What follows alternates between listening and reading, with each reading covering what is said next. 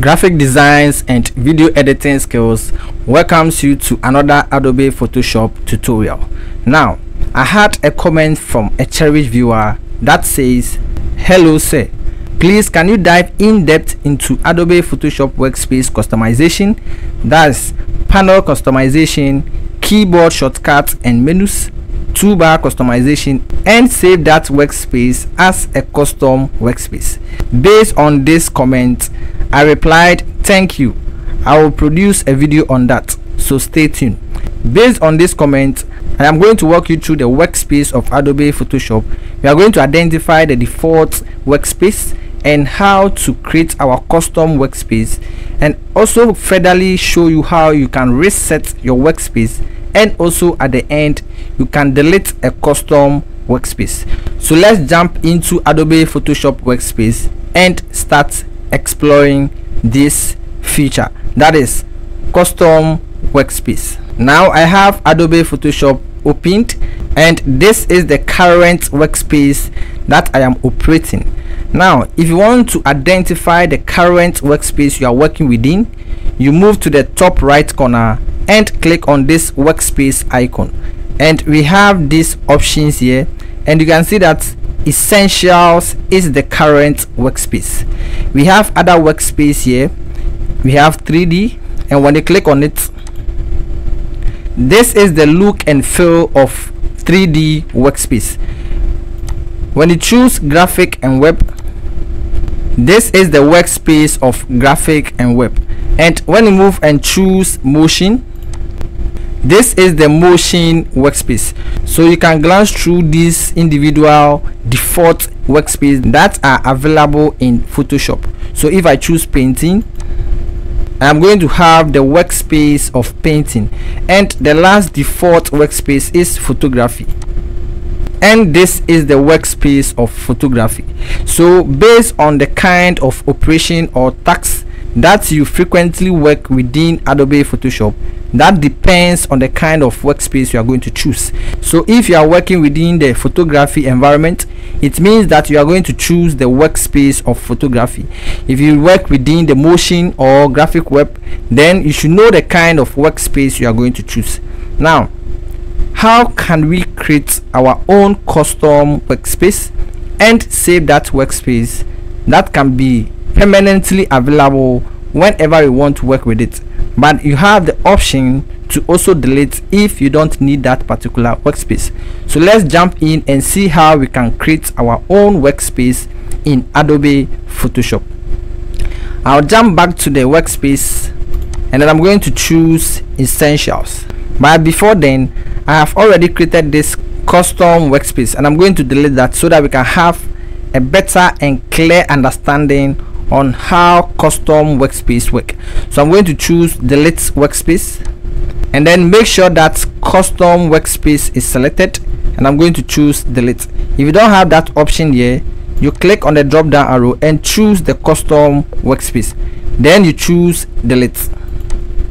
You have the option to choose yes if you are confirming this particular option. Now when i move back I don't have that custom workspace selected. Therefore I'm going to choose essentials. Then for better understanding I'm going to select reset essentials. So this is the look and feel of essential workspace whenever you get access to Adobe Photoshop for the first time. This is how the workspace is going to look. And this is the default workspace in Adobe Photoshop. The question comes again. How can we create our own custom workspace? When you choose new workspace in this option you get this beautiful dialog box that says new workspace. And we have name that is the default name given to this that is untitled one. You can change this name. And when you move below this name field we have capture panel locations will be saved in this workspace. Keyboard shortcuts menus and toolbar are optional.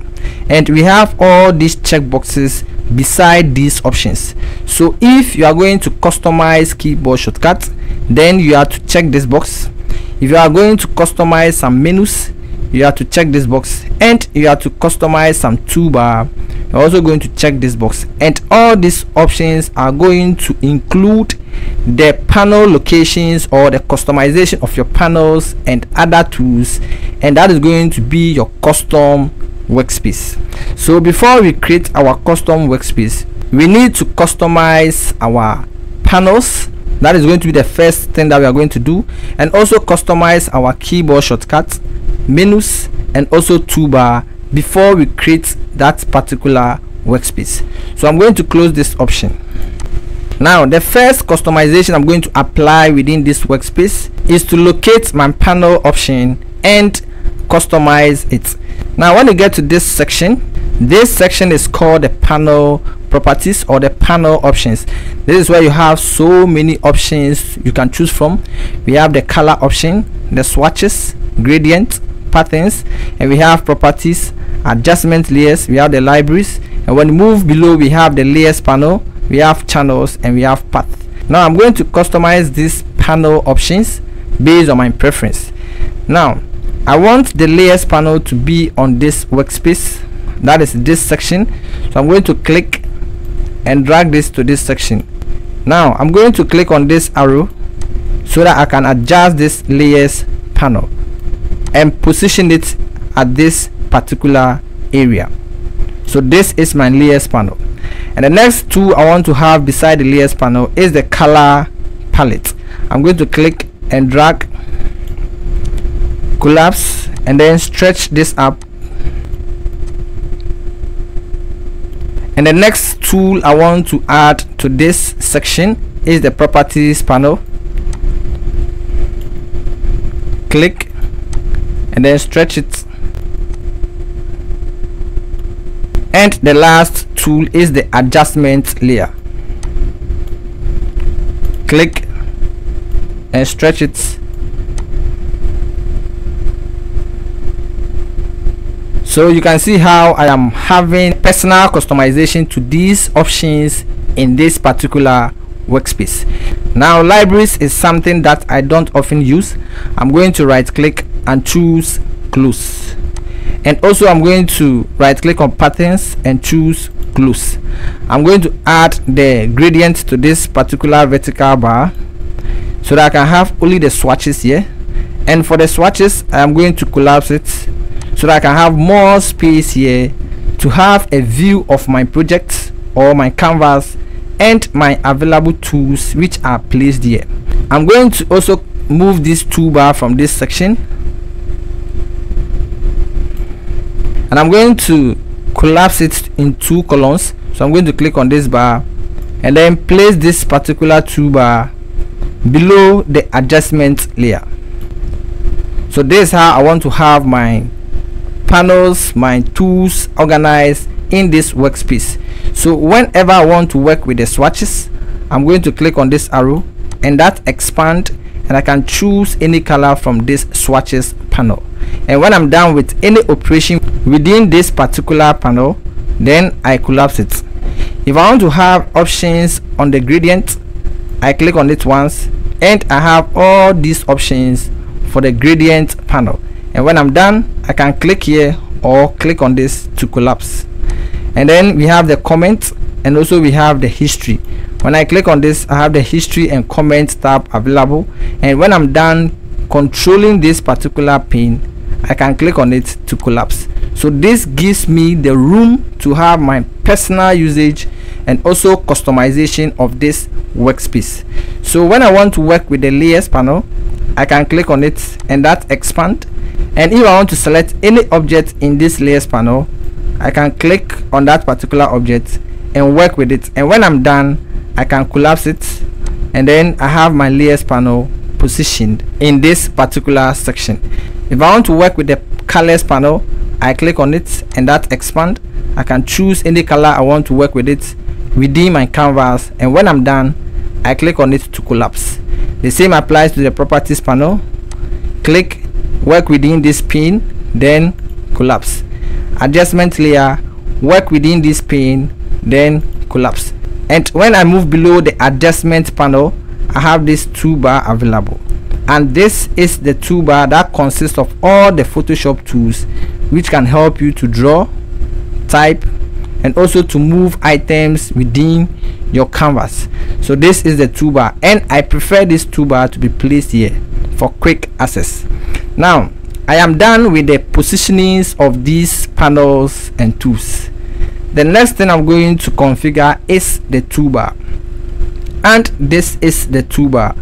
I'm going to customize this toolbar. And the first customization that i have applied to this toolbar is making this in two columns. So you can see that these two bars are vertically shown in two columns. How can i customize this toolbar? When move to this toolbar we have this ellipse button. Place your pointer on it and right click and when you do so we have edit toolbar.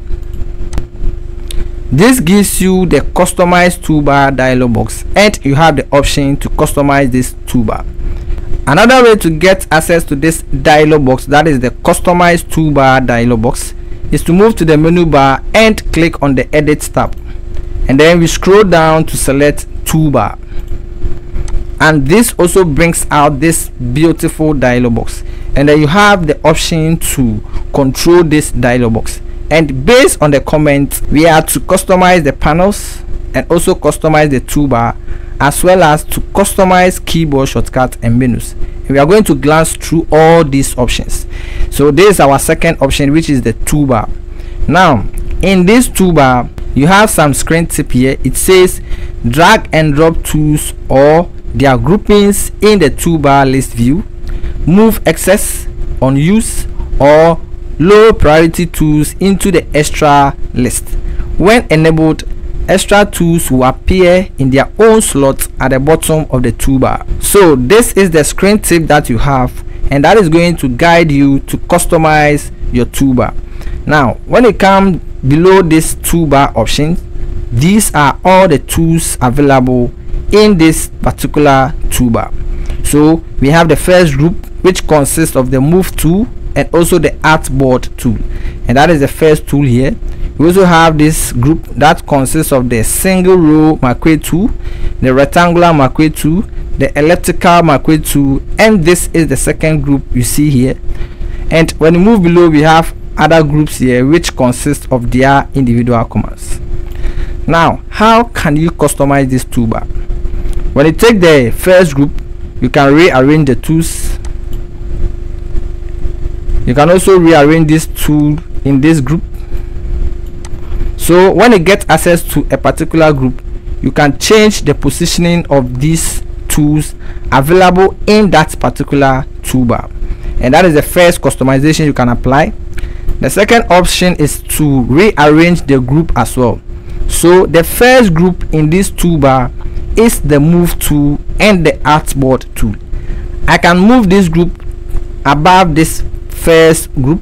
So when i place my mouse pointer on this group i have to make sure that there is a blue border around this group. And that shows that this group is selected. Then you click drag. And when you get to the top of this first group you see a blue thick line. Then you release the mouse and this is going to move this group to the top of this pin and now we have the move to move to the second position. And when you move back to the workspace you can see that that is the customization that has been applied. Now we have this marquee tool being the first option in the toolbar.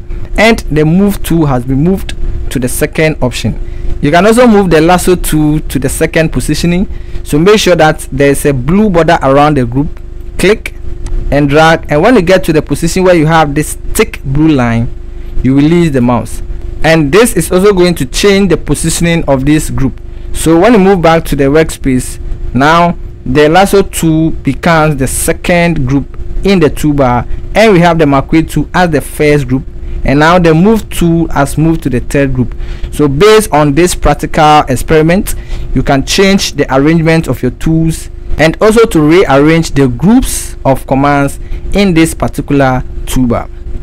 Now another way to customize your toolbar is if there is a tool which you don't normally use or it is low priority tool in the workspace you can move that tool to the extra tools. Currently you can see that I've moved the polygonal lasso tool to the extra tools. So if I want to move the quick selection tool I can click and drag and position it in the extra tools if I want to move the magnetic lasso tool click and drag so all these tools are not going to be available in this toolbar but they can be accessed in the extra tools and as the screen tip says if we enable this particular tool which is the extra tools it will appear in their own slot at the bottom of the toolbar so let's assume that you want these tools to move back to their original location. You can click and drag and move it to their group and release. And now we have it among its group. So you select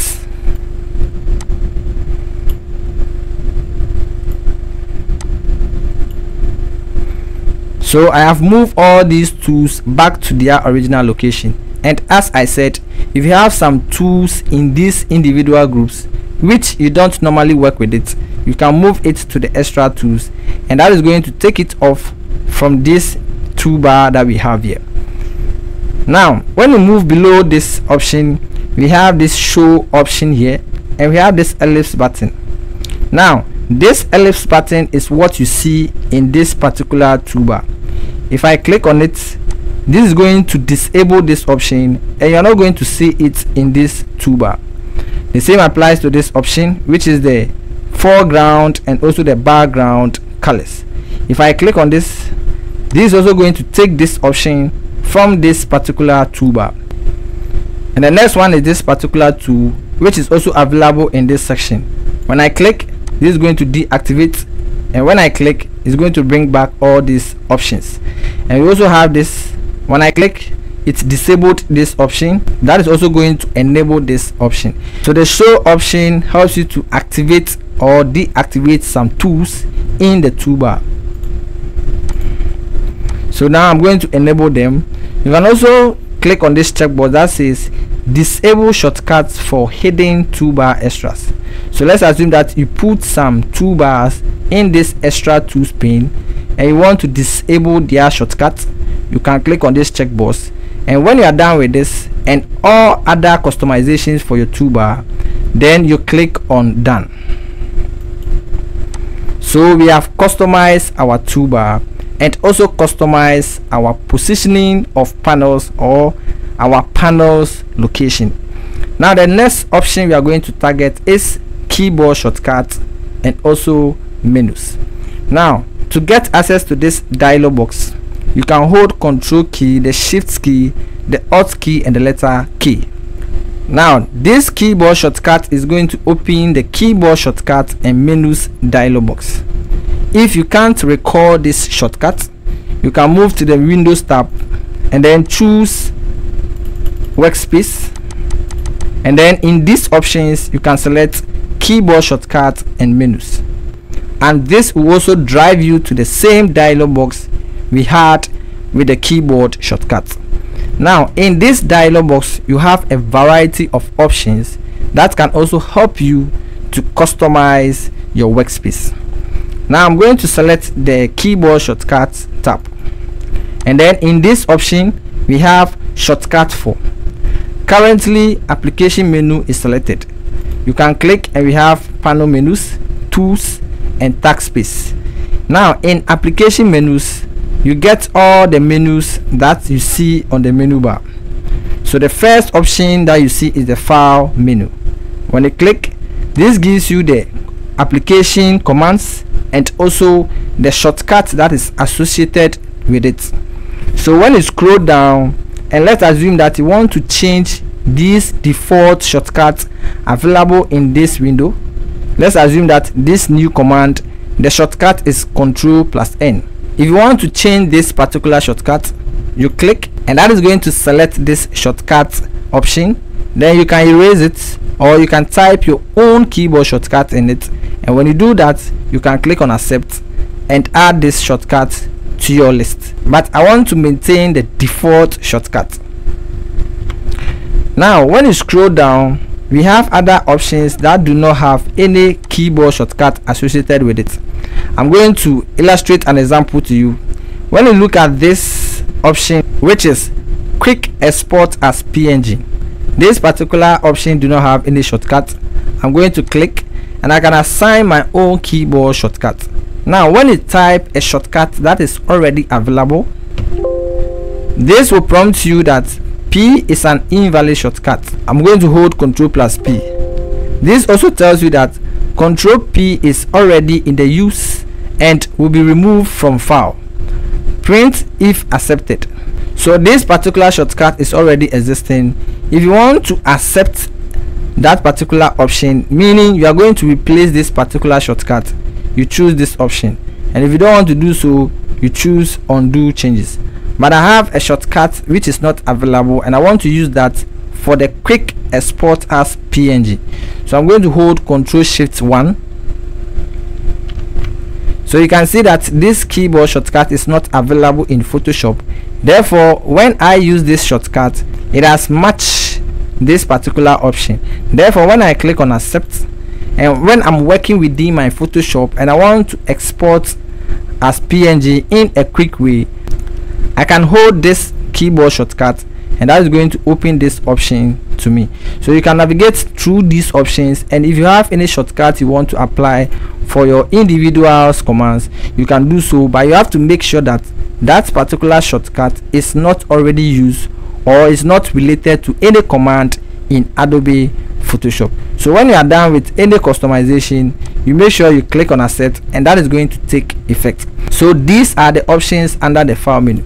You can move to the edit tab also you can make some changes to some shortcuts but not to waste too much time. We are not going to walk through all this but i believe that the first illustration that i've done can guide you to take your time and walk through and change some keyboard shortcut if you want to do so. The one that you think might be familiar with you you can go through and edit them in this individual application menus. When you click on this and choose panel menus. We also have panel menus. So these are some of the panel menus. Especially you can go to the layers tab. And when you go to the layers panel we have all these options. And you want to change some keyboard shortcut the shortcut that can be used to create a new layer is shift control n if you think that this shortcut can't be memorized by you you can click and change and after that you click on accept. But i am going to maintain this default shortcut. So you walk through if you want to apply some shortcuts or customize some shortcuts within the panel menus you can do so. The next one is when you choose tools these are the tools that we have in this toolbar. So when you look at the rectangular marquee tool the shortcut is m if you think m is something you can't recall you can click and change and then you click on accept. And I believe you are understanding the way you can customize your keyboard shortcut in Photoshop.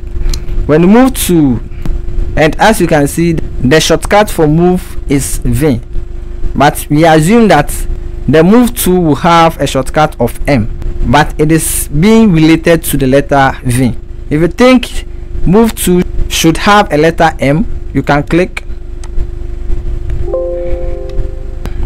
Then you can move to the rectangular marquee to select type R and click and that is going to take effect. Therefore I have changed the letter representation. That is the shortcut letter representation of these two commands. If I go to my workspace and press any of this letter M is going to be my move tool so this is how to customize keyboard shortcut in Adobe Photoshop. The next shortcut for these options is the task spaces. And this is for select and mask content aware fill and then we have neural filters. And when you click on this it expand. And all these task spaces have their shortcut. If you think you want to change any of these you can click and change. You can click on this tab or you can choose accept. And all these are going to take effect. So this is how to customize your keyboard shortcut. Now we are left with the last option which is menus. So we click on this tab. Now this also selects application menus. But in these options we have two options available. Now how can we change or customize application menus? When you look at the file menu we have all these options and we have this visibility. When i click on this this is going to hide the file menu on the menu bar. And I'm going to use one as an example. I'm going to hide this browse in bridge under the file menu. And also I'm going to hide open recent. And now another customization I want to apply is the new command. I want to give it a color which is red. And then the open command I'm going to give it a color which is orange and then I'm going to change the color for close and I'm going to give a color of green. And then when I'm done with this I'm going to click here and that is going to take effect. So I have done some customization to the file menu. And when I'm done I can click to collapse. And when I want to expand I'll click to expand click to collapse. I have other application menus here. I can go to the edit tab. If I want to change a color for any of these options I can select and then choose a color. And if I want to go to the redo choose a color. And when I'm done I can click on this tab to take effect and then collapse this particular option. So you can walk through all these individual application menus and apply some colors or make them visible or invisible per your preference. And when you are done you can click on ok. There's another option which is panel menus so we have this panel menus. So when you choose layers. You can also change the color for layers. That is the new layer. Any option that you want to apply you can do so. If you want to hide certain things you can do that in this option. So when you're done you collapse whatever menu that you made that changes to. And when you're done you move to the top right corner and click on this ok button. Now we have customized our panels. That is we have create some panels location which are visible in this workspace. And also we've customized our toolbar and customize our keyboard shortcuts and the menus. Now all these customizations have been completed. That is based on my preference. You might have your own preference depending on how you work within Adobe Photoshop. But based on how I work within Adobe Photoshop I am done with or I have completed the customization of this workspace based on the shortcuts, menus, toolbars and also the panel location. Now that this is done, how can we have this custom workspace saved in Adobe Photoshop? So we move back to the top right corner and click on this workspace icon and then we are going to choose new workspace. We have this dialog box let's give a name to this. Now after that we are going to check these boxes. Because we have customized these options. Then we click on save. Now this has been saved as a custom workspace. When I move back to the workspace icon this is currently selected. Now let me show you something here. If I choose essentials essentials workspace is also going to have this same customization. Why? Because when i was customizing these particular options which are the panel locations the shortcuts the menus and the toolbar essentials was selected. So it is also going to have this same customization. But for us to ignore this customization for the essentials i'll move back to the workspace icon and then choose reset essentials. And then we are going to have the default workspace of essentials in this Adobe Photoshop interface. Now when I move back to the icon which is the workspace icon essentials is selected and I can choose my workspace that I just created. And that is going to bring back all the customization that I apply to this particular workspace. So now this is my toolbar and these are my panels which are located in their individual sections. Now when i move to the menu bar and click on the file menu you can see that the colors that we gave to these individual commands are activated. I gave a color to the new the open and also the close. You can go back and personally choose different colors for any of these commands per the way that you want them to be in your workspace. So you can see that i have all these colors taking effect. Now i also gave a shortcut to the quick export as png which is control shift one. Now when i hold this keyboard shortcut you can see that i have this dialog box open and i can save this as a png file. So this particular canvas that i have with this particular object when i hold this customized keyboard shortcut which is relating to the quick png export has given me this dialog box to save this particular image as a png in a directory on my computer system. So you can see how this keyboard shortcut is working. This is a customized keyboard shortcut that was created personally by me. So now at this point in time you can see that all the customization that we apply has taken effect. The shortcut the menus the toolbar and also the panels. So when you look at this toolbar you can see that now the move tool is not in this position. Rather it is positioned at the third position in their individual groups. So now we have the marquee tool and we have the lasso tool before we have the move tool based on how we customize in the customize toolbar dialog box. So this is how to customize your workspace in photoshop. That is personally. And this is an advanced and in-depth tutorial. We have taken our time to illustrate in this particular video. Now that we have created our custom workspace let's assume that we are not around and a colleague or a friend get access to this photoshop interface. And mistakenly or intentionally started to close our panels and trying to position them in different sections.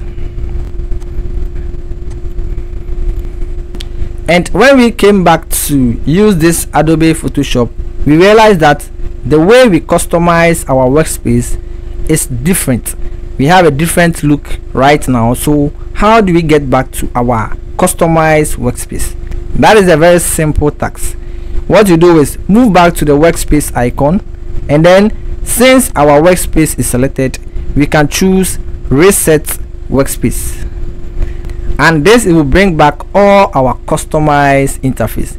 And we have our panels our toolbar our customized file menu and also our keyboard shortcut available.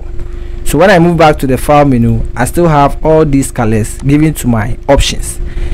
Let's assume that this is changed to essentials and when I go back to my workspace I have all these options available and also all the panels are activated.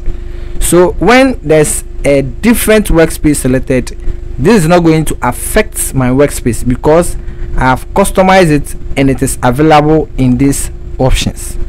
So anytime there is a close of these panels rearranging of these panels what I'll do is to go back and choose reset.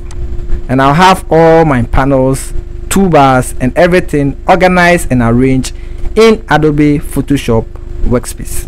So now we've customized and created our workspace and also we've learned how to reset a workspace when there is a change or any other modifications we are not aware to our workspace.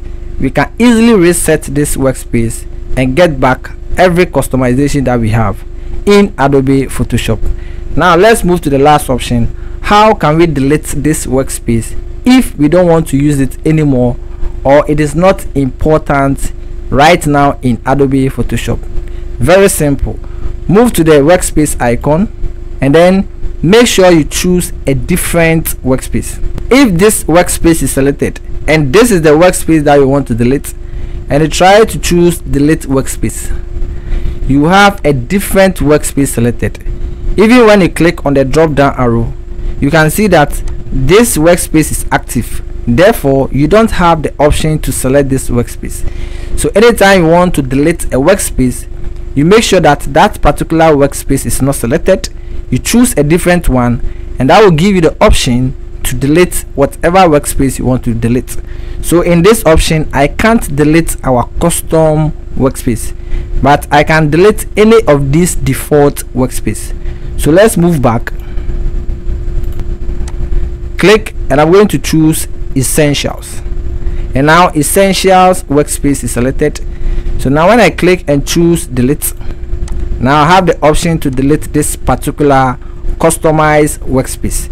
If you don't have that selected you choose this option and then you select it and delete now if you have so many custom workspace available then the best option is to choose all custom workspaces.